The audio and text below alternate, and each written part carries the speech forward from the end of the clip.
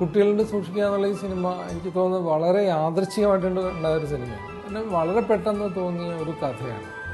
അപ്പോൾ ആ കഥ തോന്നിയതിന്റെ അടുത്ത ദിവസം തന്നെയാണ് ഞാൻ യാദർച്ഛികമായിട്ട് അത് എം സ്റ്റാറിൽ എം സ്റ്റാർ കമ്മ്യൂണിക്കേഷൻസിലേക്ക് കഥ സംസാരിക്കുന്നത്. കാരണം ഞങ്ങൾ ആക്ച്വലി വേറൊരു പ്രോജക്റ്റുമായിട്ട് ബന്ധപ്പെട്ട് ഉള്ള ഡിസ്കഷൻസിലിടയില്ല പക്ഷേ അപ്പോഴാണ് അവർക്കെല്ലാം ഈ കഥയോട് വലിയ ഇഷ്ടം തോന്നുകയും നമുക്കിത് പെട്ടെന്ന് ചെയ്തുകൂടെ എന്ന് ചോദിക്കുകയും ചെയ്യുകയാണ് ചെയ്തത്. Good morning chemical neutral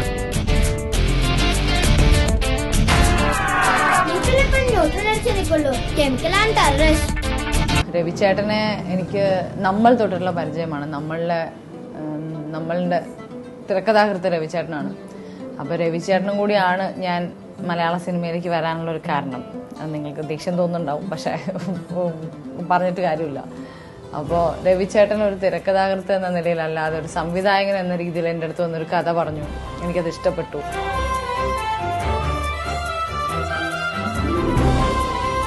Bhavana ഇപ്പം എന്റെ സിനിമയിൽ എനിക്ക് തോന്നുന്നു ഞാൻ തിരക്കഥ എഴുതി നമ്മളിലൂടെയാണ് വരുന്നത്. പക്ഷെ ആ നമ്മളിൽ ഭാവന ചെയ്ത ക്യാരക്ടർ എന്ന് പറയുന്നത് പരിമളം എന്ന് പറയുന്ന കഥാപാത്രം. പക്ഷെ എനിക്ക് എപ്പോഴും തോന്നിയിട്ടുള്ളത് നമ്മൾ ഭാവന ഈ പരിമളം ഭാവനയുടെ ജീവിതത്തിൽ ആവർത്തിക്കപ്പെടുകയാണ്. ഭാവന പിന്നീട് ചെയ്ത എല്ലാ ക്യാരക്ടേഴ്സും എടുത്ത പരിമളത്തിന്റെ ഒരു എക്സ്റ്റൻഷനാണ് ഈ കഥാപാത്രം. അല്ലാതെ അതിനപ്പുറത്തൊരു കഥാപാത്രത്തെ ഭാവനയ്ക്ക് ചെയ്തിട്ടില്ല എന്ന് എനിക്ക് പലപ്പോഴും തോന്നാറുണ്ട്. പക്ഷേ അതിനുള്ള പൊട്ടൻഷ്യൽ ഉള്ള കുട്ടിയാണ് ഭാവന. ഈ സിനിമയിൽ പരിമളല്ല ഇതിലെ ഷാഹിദ. ഷാഹിദ വളരെ മെച്ചുവേർഡായ ജീവിതത്തെ വളരെ എന്താ പറയുക വളരെ ആഴത്തി കാണുന്ന ജീവിതത്തിലെ വലിയ പ്രതിസന്ധികളൊക്കെ ഏതാണ്ട് ചിരിയോട് നേരിട്ട് നേരിടുകയും എന്നാൽ ഉള്ളിലെ സങ്കടങ്ങളൊക്കെ മാറ്റിവെച്ച് കുഞ്ഞുങ്ങളെ എന്താ പറയുക പുതിയ എന്താണ് ലോകത്തിലേക്ക് ആ ലോകം കാണാനും വീണ്ടും ലോകത്തേക്ക് ഇറങ്ങാനൊക്കെ പ്രേരിപ്പിക്കുന്ന ഒരു അമ്മയായിട്ടാണ് ചെയ്യുന്നത്. എനിക്ക് തോന്നുന്നു ഭാവനയുടെ കരിയറിലെ ഏറ്റവും നല്ല കഥാപാത്രങ്ങളിലൊന്നാണ് ഷാഹിദ എന്ന് പറയുന്നത്.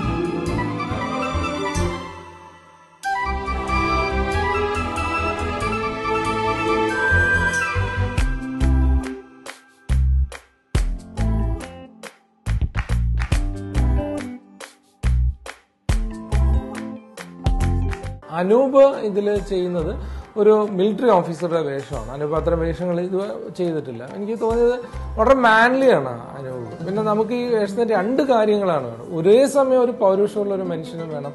അതേസമയം കുടുംബങ്ങളുടെ ഒരു ഭാര്യയ്ക്ക് പ്രിയപ്പെട്ട ഭർത്താവായിരിക്കണം. കുട്ടികൾക്ക് പ്രിയപ്പെട്ട അച്ഛനായിരിക്കണം. അതായത് നമുക്കൊരു ഒരു അന്തസ്സുള്ള ഒരു അച്ഛൻ എന്ന് പറയില്ല? ഒരു അന്തസ്സുള്ള ഗൃഹനാഥൻ എന്ന് പറയുന്നത് അപ്പൊ ഇയാളൊരു സ്ഥിരം വാടക ഉണ്ട ലുക്കുള്ള ഒരാളാവരുത് ഇയാൾ അപ്പോൾ അല്ലാതെ അങ്ങനെ വരുമ്പോൾ നമുക്ക് ആ ഒരു നമ്മുടെ കുടുംബത്തിലേക്ക് അച്ഛന്മാരെ അല്ലെങ്കിൽ നമ്മുടെ ഭർത്താക്കന്മാർ എങ്ങനെയാണ്?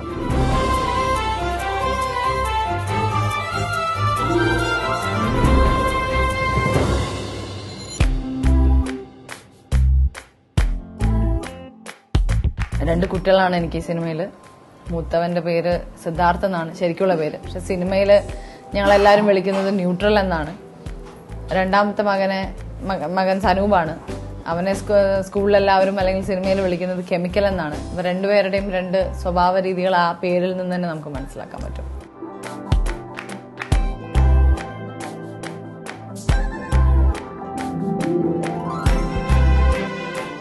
സനൂപ് എനിക്കൊന്ന് ബേസിക്കലി മോഹൻലാലിനെ പോലുള്ള ഒരു നടനാണ് സനൂപ്. കാരണം വെച്ചാൽ സനൂപ് വളരെ സ്പോണ്ടേനിയസ് ആണ്. കാരണം ഒരു വലിയ തയ്യാറെടുപ്പൊന്നും സനൂപിന് വേണ്ട. ബേസിക്കലി ഒരു ഇൻബോൺ ആക്ടറാണ് സനൂപ്. അപ്പം പക്ഷെ എനിക്ക് എപ്പോഴും സനൂപിനെ കുറിച്ച് തോന്നുന്നത് സനൂപ് ഒരുപാട് സിനിമകളിൽ അഭിനയിച്ചിട്ടുണ്ട്. അപ്പോൾ അതുകൊണ്ട് ഞാനിതിൽ സനൂപിനെ ഒരുപാട് ഫ്രീഡം കൊടുത്തിട്ടുണ്ട്.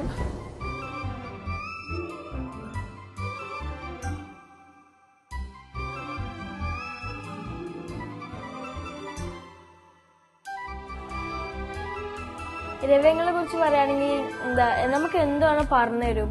ഇപ്പൊ ഞാൻ എന്ത് എന്ത് എന്തൊക്കെ ചോദിച്ചാലും എന്ത് വേണം പറഞ്ഞു. ഇപ്പം പേടിക്കേണ്ട സീനാണെങ്കിലും കരേണ്ട സീനാണെങ്കിലും ദേഷ്യപ്പെടുന്ന സീനാണെങ്കിലും എന്ത് സീനാണെങ്കിലും എന്തായാലും പറഞ്ഞു തരും. എന്ത് നമ്മൾ എന്ത് ചോദിച്ചാലും എന്ത് ഡൗട്ട് ഉണ്ടെങ്കിലും എന്തായാലും ദേഷ്യപ്പെടാണ്ട് എന്ത് ചോദിച്ചാലും ദേഷ്യപ്പെടാണ്ട് തന്നെ പറഞ്ഞു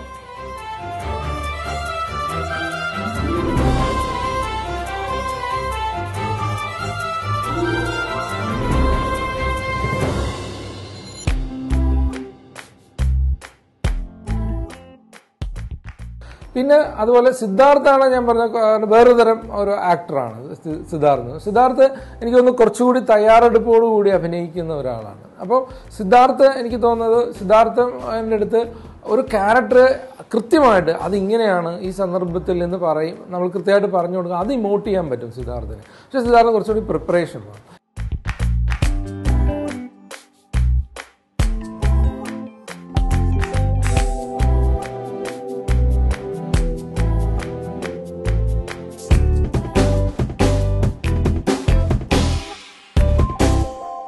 ഈ സിനിമ ചെയ്യുന്ന മുമ്പേ ഞാൻ ബാലഗണപതി എന്ന സീരിയലിലായിരുന്നു അഭിനയിച്ചത്.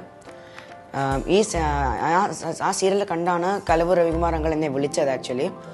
പിന്നെ ഈ സിനിമയ്ക്കകത്ത് എന്റെ ക്യാരക്ടറിന്റെ പേര് നീരജ് എന്നാണ്. ഇരട്ട പേരായിട്ട് എന്നെ ന്യൂട്രൽ എന്നാണ് വിളിക്കാറ്.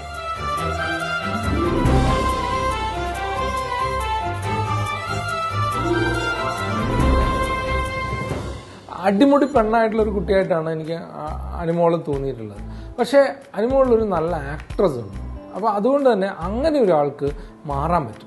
അപ്പോൾ അങ്ങനെ മാറുമ്പോഴാണ് അതിനകത്ത് അല്ല ഇപ്പോൾ ശ്വേതാമേനോൻ പോലീസ് സ്റ്റേഷൻ ചെയ്യുമ്പോൾ അത് വളരെ പ്രഡിക്റ്റബിൾ ആയിട്ട് ആയിരിക്കും ഇരിക്കുന്നത് അവർ മോശമായിട്ട് ചെയ്യുന്നതെന്നല്ല ഞാനീ പറയുന്നത്. നമുക്കറിയാം അവർ അത് ചെയ്യും അല്ലാതെ ഒരാൾ വളരെ നമുക്ക് നമ്മൾ പ്രതീക്ഷിക്കാത്ത ഒരാൾ പ്രതീക്ഷിക്കാത്ത വിധം പെർഫോം ചെയ്യുമ്പോഴാണ് അത് സിനിമക്ക് ഗുണകരമാവുക. പിന്നെ എന്റെ കഥാപാത്രം എന്ന് പറയുന്നത് അത് ഒരേ സമയം ഷാഹിദയോട് സൗഹൃദമുണ്ട് അവർക്ക്. അവർക്ക് ഷാഹിദയോട് സൗഹൃദമുണ്ട് അനൂപ് മേനോട് സൗഹൃദമുണ്ട് ആ വീടുമായിട്ടൊരു ബന്ധമുണ്ട്. അപ്പോൾ ആ ഒരു താരല്യം എനിക്ക് വേണം. എനിക്ക് അത് ആ ഭാവനയായിട്ടുള്ള സീനുകളിൽ ആ സൗഹൃദം അനുഭവിപ്പിക്കണം. അതേസമയം കേസന്വേഷണം ഈ വീട്ടിലേക്ക് നീളുമ്പോൾ അതിന്റെ ഒരു കാർക്കശ്യവും എനിക്ക് വേണമായിരുന്നു. അപ്പം ഇത് രണ്ടും എനിക്ക് കിട്ടാൻ ചിലപ്പോൾ അതെനിക്കൊരു വേറൊരു ആർട്ടിസ്റ്റിന് ചിലപ്പോൾ കിട്ടിയെന്ന് വരില്ല. ഒന്നുമില്ല കർക്കശയായ പോലീസ് ഓഫീസറായിട്ട് എനിക്ക് വരും. ഇവിടെ എനിക്കത് മിസ് ചെയ്യുന്നു. അപ്പോൾ ഇങ്ങനൊരു ആർട്ടിസ്റ്റ് ആണെങ്കിൽ എനിക്കത് കിട്ടുമെന്ന് എനിക്ക് തോന്നി. എന്റെ കണക്കൂട്ടിൽ തെറ്റിയിട്ടില്ല. കാരണം എനിക്ക് തോന്നുന്നു അനുഭവം വളരെ ബ്രില്യന്റ് ആയിട്ട് ഇതിൽ പെർഫോം ചെയ്തിട്ടുണ്ടെന്നാണ് എനിക്ക് തോന്നുന്നത്.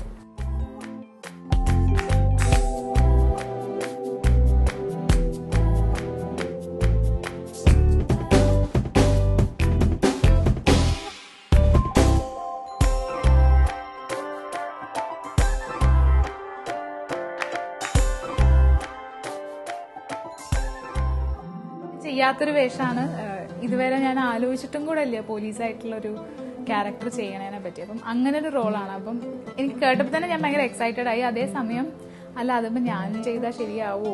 പൊതുവേ ഞാൻ ഇങ്ങനെ ഒരു സാരിയും മുണ്ട് ബ്ലൗസ് ഒക്കെ എടുത്ത് നടക്കുന്ന ഒരു ഐ മീൻ വിലൻസിൽ അങ്ങനെയാ ചെയ്തിട്ടുള്ളൂ. അപ്പം അതല്ലാത്തൊരു വേഷം അങ്ങനെ ഒരു ആലോചന ഉണ്ടായി പിന്നെ ഇവരാണ് എനിക്കൊരു കോൺഫിഡൻസ് തന്നത്. അത് ശരിയാവും. അത് നമുക്ക് ചെയ്യാൻ പറ്റും. അല്ലെങ്കിൽ അത് അനുഭവം ചെയ്യാൻ പറ്റും എന്നുള്ളൊരു കോൺഫിഡൻസ് എനിക്ക് അവർ ഇൻജെക്ട് ചെയ്ത് തന്ന ആ ഒരു കോൺഫിഡൻസിലാണ് ഞാൻ ഈ സിനിമ ചെയ്തത്. അങ്ങനെ സാർ പിന്നെ എനിക്കറിയാം നമുക്ക് സാറിന്റെ മുമ്പത്തെ ഫിലിംസ് ഒക്കെ നമ്മൾ കണ്ടിട്ടില്ലെങ്കിലും നമുക്ക് ഒരുപാട് ഇഷ്ടമുള്ള ഫിലിംസുമാണ് അപ്പോൾ അതുകൊണ്ട് സാറിന്റെ മേത്തുള്ള ഒരു ട്രസ്റ്റും സാർ തന്നൊരു കോൺഫിഡൻസും തന്നെയാണ് ഈ ഫിലിം ഞാൻ എത്തിയത്.